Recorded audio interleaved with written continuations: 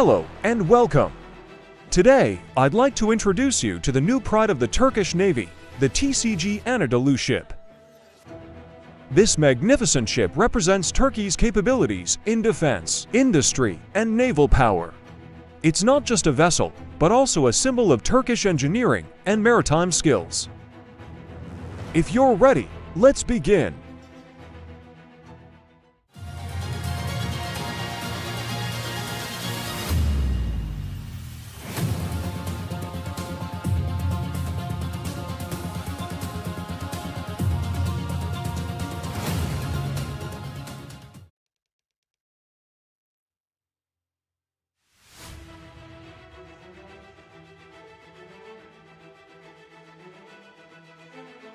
The first block of TCG Anadolu, consisting of 114 blocks, was laid in February 2018 and the ship met the sea on May 4, 2019.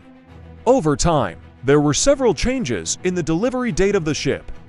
Temporary delivery was made on January 21, 2023, and it officially entered service in the Turkish Navy on April 10, 2023.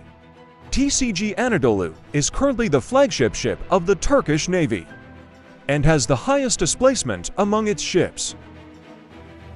Specifications of TCG Anadolu multi-purpose amphibious ship. Length to 131.82 meters, width 32 meters, height 58 meters, draft 6.9 meters. Full load displacement 27,436 tons. Flight deck length to 100 to meters. Flight deck, 5,440 square meters. Deck feature, 6 helicopter landing points. Ramp, 12. Maximum speed at full load, 21 knots. Cruising speed, 16 knots.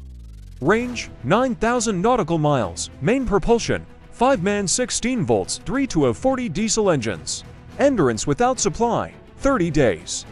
Maritime capacity, operations of unit flying in Sea State 5 loading and unloading operations in Sea State 4, service life 40 years, crew 371 plus 50 air crew, 50 hospital staff, 550 to 700 amphibious marine infantry, total approximately 1200.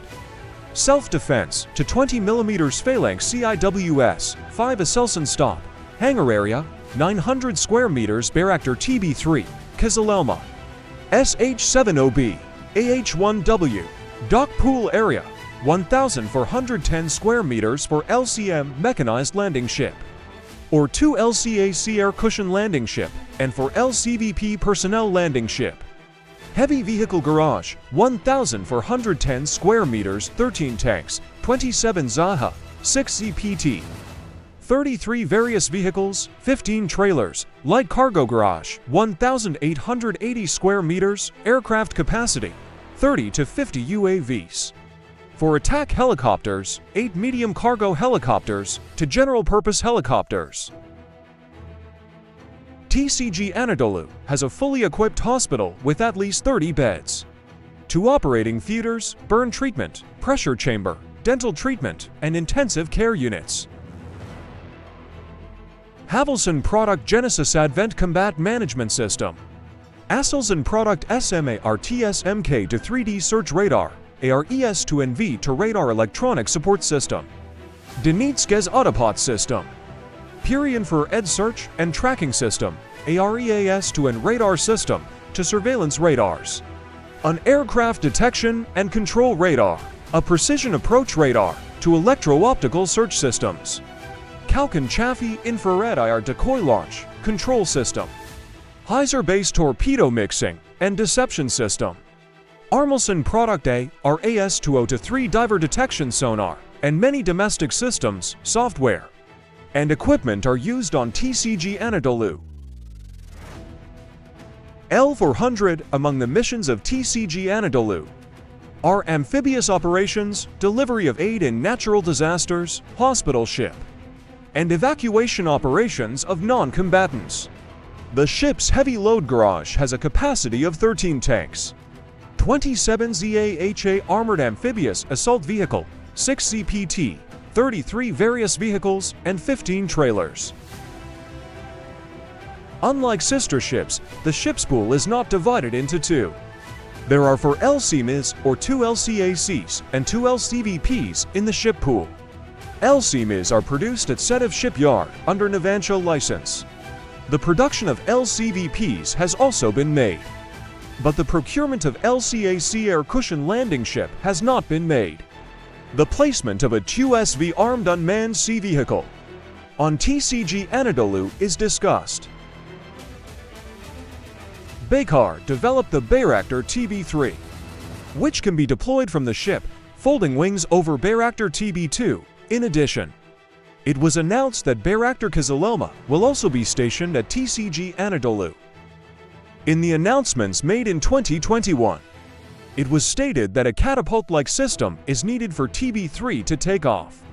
But in current statements, it is announced that TB3 will take off and land without any additional support. In addition, it has been stated that, while Bayraktar Kızılelma Mayıs can take off without additional support, it will need a cable in landings.